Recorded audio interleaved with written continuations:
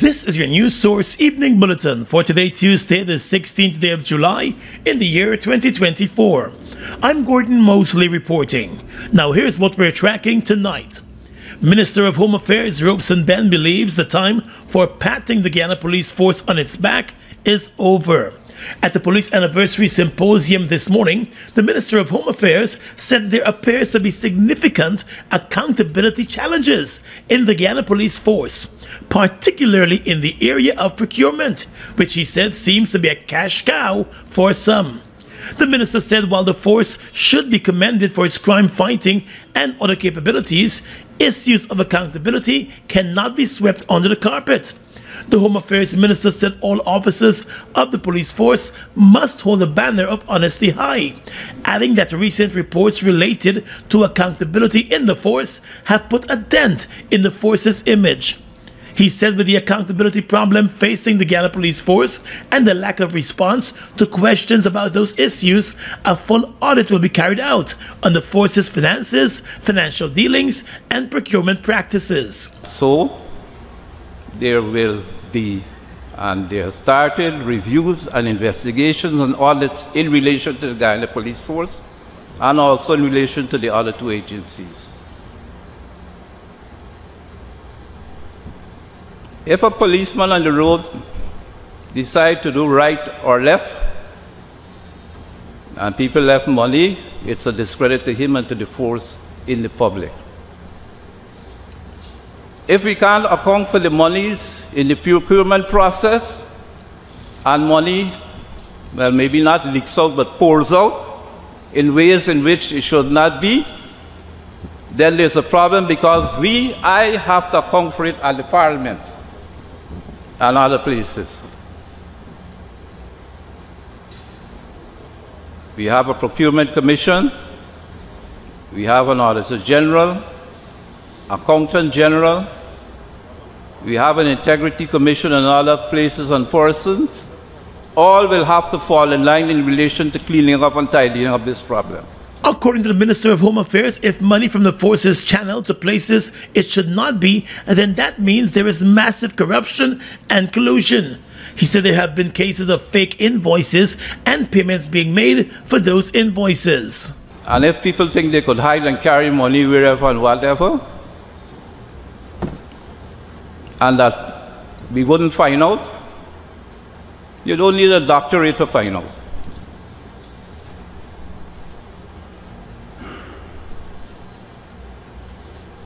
We want new accountable policing. We want new and improved and honest work done. We want to see that the paper trail is not fraudulent because we hear a lot of issues and I know there's a lot of trolling back of invoices or whatever coming from locations all over the country. Mr. Benn said the symposium hosted by the Guyana Police Force should confront the issue of corruption in the police force with a view to root it out completely.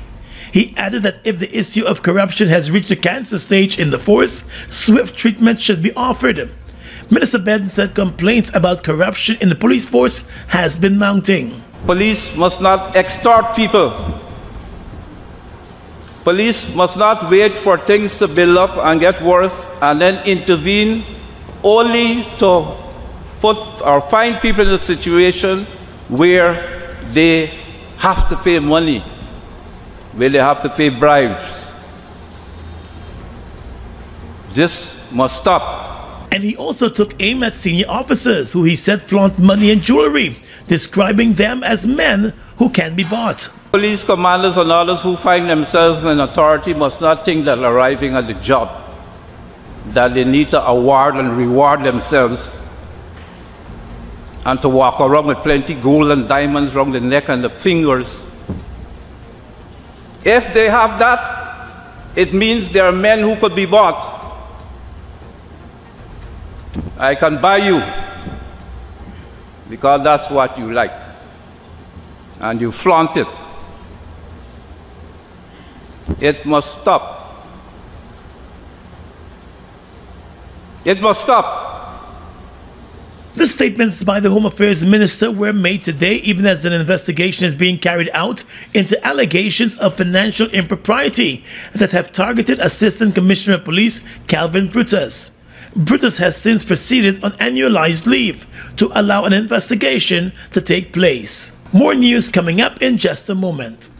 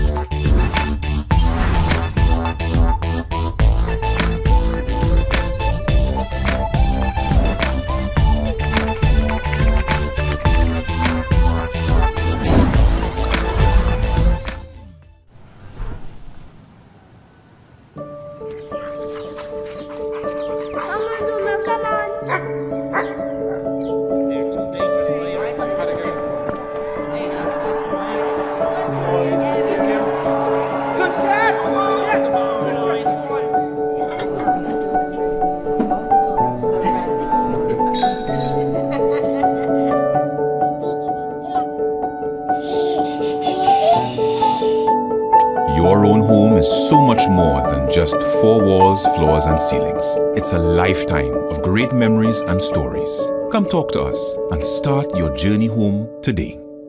Republic Bank, we're the one for you.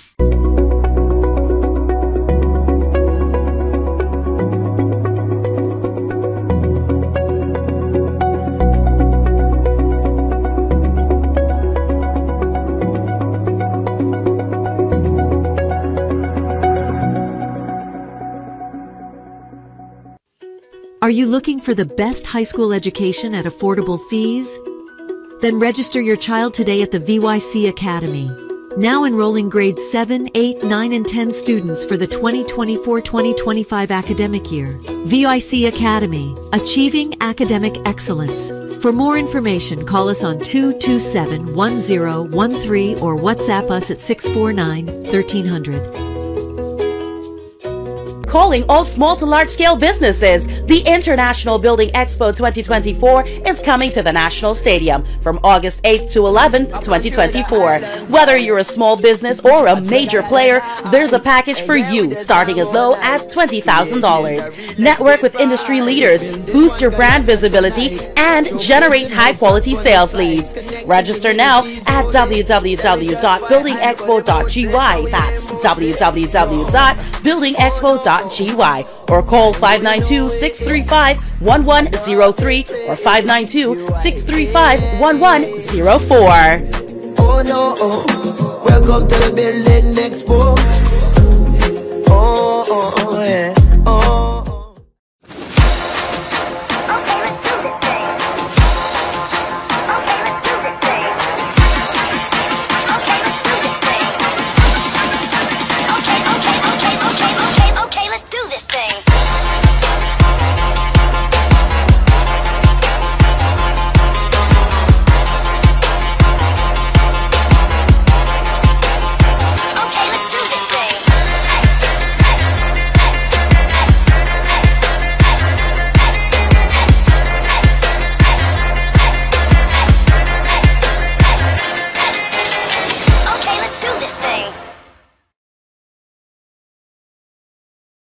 Let's tell you now that Acting Police Commissioner Clifton Hicken appealed today to the public to be more measured in its criticism of the Guyana Police Force, noting that public perceptions play a big role in the force's morale.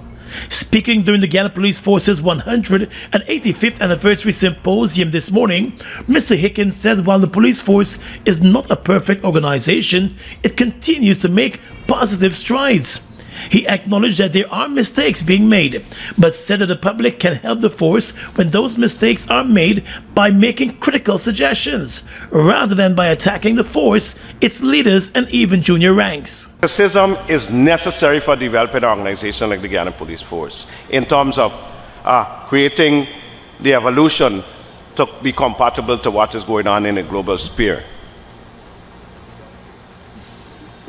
We cannot work in isolation.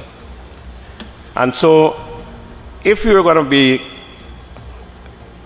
if you're going to criticize us, we can be more constructive.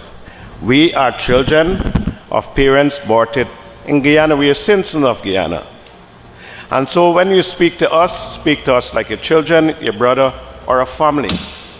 I think if we start breaking those barriers, as a nation of Guyana, I think we are going to do better. The acting top cop said the force is actively working to change its outlook and to come up to speed with modernization. He explained that many things will be done differently, and in the process, mistakes will be made. But those mistakes should not define the police force and its core values. Nothing is wrong with ventilating when, there, when there's issues within our organization. It's not what is done, it's how it is done. And the same critical look or the same critical analysis you're doing for the police force, please Praise us when we are making efforts. Equally, Mr. Hickens said the police force has been doing some good work in terms of reducing the country's crime rate, and its work must be commended. Praise us when we are doing good, and praise us for maintaining peaceful communities, and praise us because incrementally we're doing well in terms of our crime statistics. Tools will always be a problem in terms of quantity but we are maximizing what we have. And of course, we should be given kudos for that. The acting police commissioner said there will be a gradual shift in the operation of the Guyana Police Force, which will be to the betterment of the force and its members. He said the Guyana Police Force is maintaining an online presence also to deal with issues that may arise on social media. This, he said, is one of the strategies being employed to boost the capacity of the police force. One week after six-year-old Jeremiah Gustav was shot to the head while two gunmen fired at each other, the young boy remains hospitalized and unresponsive in a critical state.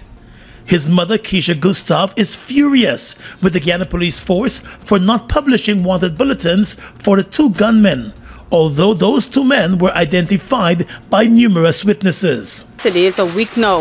I'm not getting no progress. I'm calling on the president I'm calling the, the crime chief. I'm calling out everybody for the full support at this point in time for my son. It was last Tuesday night while her son Jeremiah sat close to her food stand in Charlestown that two gunmen opened fire at each other. The mother said when she turned to grab her son to run, he cried out for her as he fell to the ground and she spotted blood running from his head. She rushed him to the hospital, tearing off her shirt to stop the bleeding. He was admitted in an unconscious state, and now, along with his doctors, the young mother is holding on to hope. But she also wants justice. She said again the police force must do a better job and needs to issue wanted bulletins for the two men who are responsible for her son being shot in their crossfire. Jeremiah is still lying down there critical. These boys are around, right around this area and I'm still not getting no progress from the police, nobody. If I don't say, well, I will go out and call somebody, nobody is not coming to me and say, well, how is Jeremiah or nothing. Nobody's not saying nothing. And up to now, these boys is not published as yet. Today's one week and for instance, I watching the internet just now. A man, he travel with drugs they don't give him four years in prison. Jeremiah is only six. No progress as yet, Mr. Mosley. I cannot understand this country. Why is it that you cannot get progress as yet for my six-year-old son? My son is in pain. I'm in pain. The whole family in pain at this point in time. The Guyana Police Force has not said anything since its initial release on the shooting incident last week. The two men involved in the shooting are well known in the area and have their families who still live in the Charlestown community. The concerned mother said seeing her son in his current state is heartbreaking, and she would not want to take justice in her own hands. She wants the police and the authorities to act. I'm feeling real down with this Guyana police force. I'm calling on the crime chief, I'm calling on President Ali for progress for my son. I need justice for my son at this point in time. Miss Mosey, as you could see my condition. I'm not getting nothing, nothing. And if I decide to say, well, I'll take matters into my own hand, the police gang don't come running here looking for me. And these boys are around the area and The police is not doing nothing. Persons in the Charlestown community have identified the two men to law enforcement. One of them is known as Crab, while the other is known as Mice Man. During their initial investigations, a number of spent shells were recovered from the scene along Smythe Street in Charlestown. On the education front, the Guyana Teachers Union and the Ministry of Education have agreed to a number of non-financial measures, paving the way for discussions on the critical issue of salary increases and other financial benefits for teachers in the public sector to move ahead. GTU's General Secretary Coretta McDonald today told News Source that the agreement was reached during the first round of negotiations, which took place last Thursday, following the end of the 75 day long strike which rocked the education sector. The non-salary issues include duty-free concessions for some 300 teachers, the provision of 100 scholarships, hinterland benefits, conditions for re-employment, housing, and a number of welfare matters. We at the GTU, as a matter of fact, the teachers across this country, they are dedicated, they are committed, and because of their dedication, commitment, and resili resilience, that's why we're still in this country. That's why we're still in the schools, because we love what we do outside of loving what we do, we still have to live. We have to eat. We have to wear. We have to go, you know, go places of relaxation, which is not a whole lot. And so the GTU has, over the years, we've been um, championing the cause for free and uh, fairness within the education sector.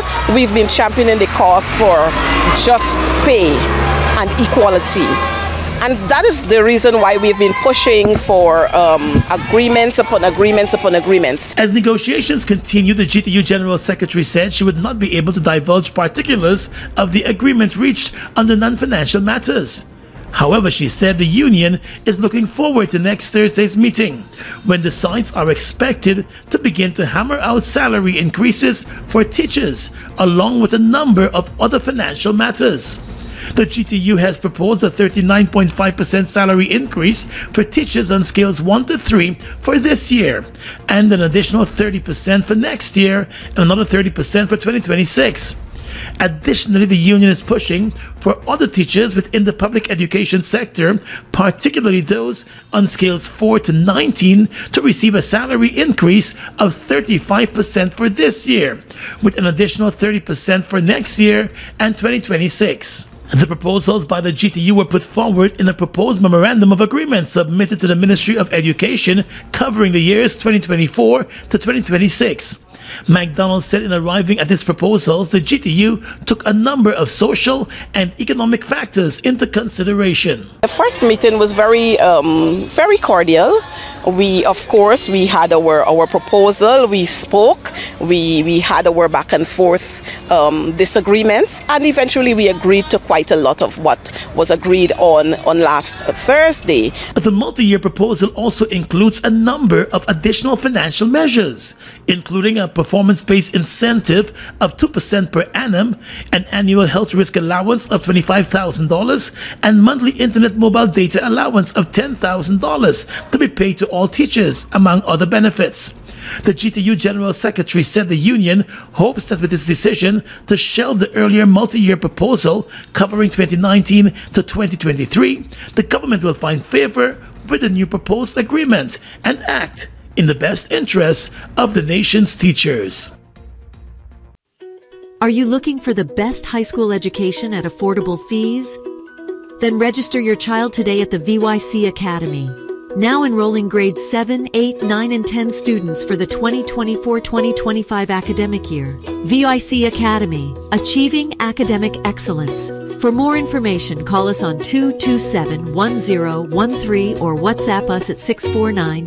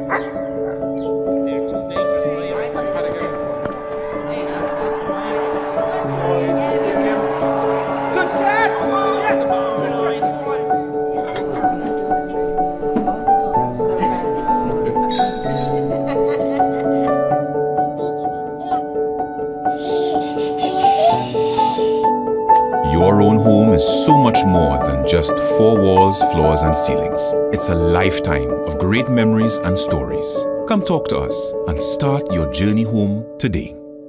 Republic Bank, we're the one for you. Monster, bust the flavor, flavors. We're full of flavor, flavor, flavors. Bust the flavors, that my crave for. We're full of flavors. Tell your neighbors about the bust the flavor, flavors. Grab a bust the flavor, flavor, flavors. Yeah, thirst buster. Grab a buster, bust the flavor, taste the savor. Buster, bust the flavor, flavors. Buster, bust the flavor, flavors.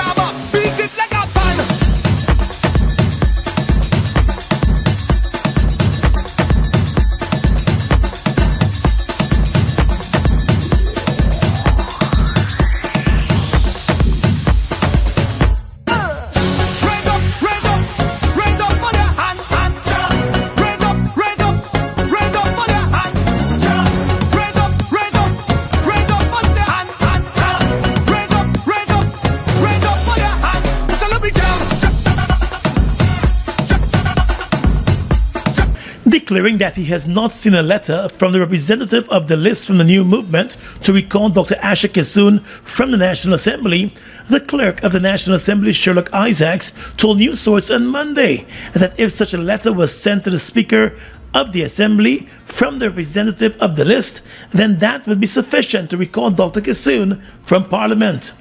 Over the weekend, member of a new and united Guyana and former Speaker of the National Assembly, Ralph Ramkarran, launched a scathing attack against Dr. Kissoon for not relinquishing her parliamentary seat and making way for the representative from ANUG to take up the seat in keeping with the Joinder Parties agreement. The representative of the list for the TNM, Dr. Gerald Ford, said he had written to the Speaker of the National Assembly back in March, stating that the parties have lost confidence in Dr. Kissoon and therefore she should be recalled. Contacted on Monday, the Speaker of the National Assembly, Manzoor Nadir, did not confirm or deny whether he had received the letter. Instead, he said his response to the issue would be silence. Pressed further, the speaker noted that the person who usually writes GECOM on changes in the National Assembly would be the clerk of the House. But the clerk is maintaining that he has not seen any letter from TNM's representative of the list. Last week, the Guyana Elections Commission said it cannot remove Dr. Kissoon from her seat in Parliament unless a vacancy exists. Over the weekend, Mr. Ramkarran agreed that GECOM cannot replace Kissoon, but she can only be replaced if the Speaker of the Assembly declared that a vacancy exists. He said since the Speaker has not done so, GECOM cannot displace Kissoon. He also maintained that the letter from the head of the list for the new movement is with the Speaker. Ramkarran also argued that removing Dr. Kissoon should not have been such a complicated issue, since there is precedence in the National Assembly. The clerk agreed with that position of Mr. Ramkarran and said that the process outlined by him has been used before to remove a member of the National Assembly. Prior to the 2020 general and regional elections, a new and united Guyana, the new movement, and the Liberty and Justice Party decided to enhance their chances of gaining representation in the National Assembly by coming together.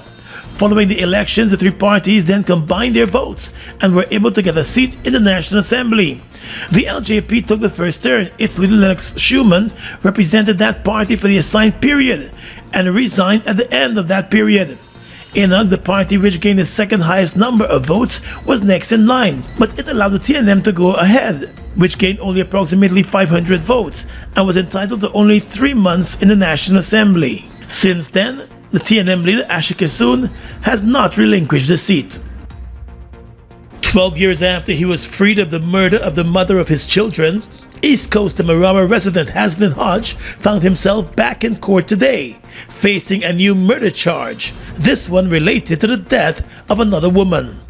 Hodge appeared at the Diamond Magistrates Court this afternoon, where he was charged for the murder of 23 year old Venezuelan national Evelyn Alves. The woman's lifeless body was found dumped at the side of the roadway in the new Diamond Housing development on the east bank of Demerara with a bullet wound to the head. Two construction workers discovered the body on the morning of the 7th of July while doing work in the area. The police launched a full investigation, which led to the arrest of Haslin Hodge as the prime suspect. Advice from the Director of Public Prosecutions was sought, and based on the advice received, the man was slapped with a murder charge this afternoon. He was not required to enter a plea during his appearance and was immediately remanded to prison. He will make his next court appearance in August. In 2008, Hodge was charged over the murder of the mother of his children, Tamasha Riddle. She was found in her bed with a pillow over her face, and it was later revealed that she had been stifled to death. Hodge went on trial four years later for the murder charge. However, during that trial, Justice Navendra Singh freed him on a no case submission after agreeing with his attorneys that there was insufficient evidence tying the man to the murder of the woman. Calling all small to large scale businesses. The International Building Expo 2024 is coming to the National Stadium from August 8th to 11th, 2024. Whether you're a small business or a major player, there's a package for you starting as low as $20,000. Network with industry leaders, boost your brand visibility, and generate high quality sales leads. Register now at www.buildingexpo.gy. That's www.buildingexpo.gy or call 592-635-1103 or 592-635-1104. Oh no, oh. welcome to Building Expo. Oh, oh, oh, yeah.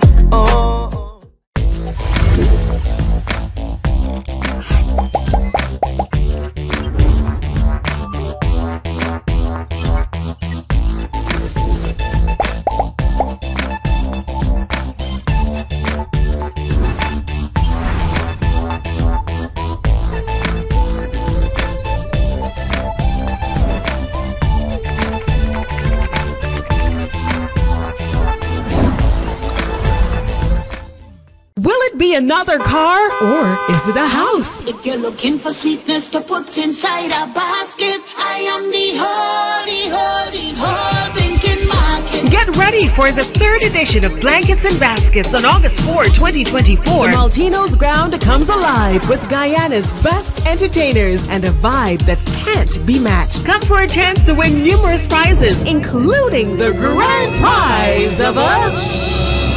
Tickets are $6,000 with other special luxury packages from 40,000 to $120,000. It's the Blankets and Baskets Extravaganza. For more information, check out Blankets and Baskets on Facebook. Guyana's economy is rapidly transforming, and we're all part of it. Oil is at the forefront of this development by providing reliable and efficient energy and supporting community development from the very core. 100% of Gaia's profit goes back to building schools, roads, and other important infrastructure that connects our cities and towns, providing fuel to domestic, marine, industrial, and aerial transportation.